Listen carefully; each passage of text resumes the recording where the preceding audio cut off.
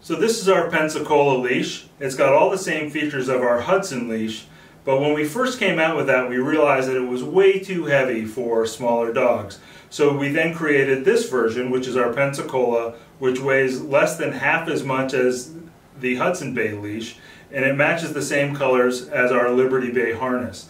But as you'll see, it's got all the same features. So it's still two layers thick, so it's hard to chew through.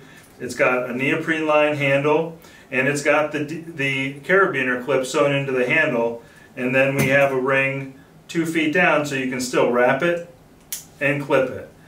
So the Pensacola leash has got all the same features as our original Hudson leash, but it's super lightweight, made for small dogs. It comes in six colors and one length, six feet.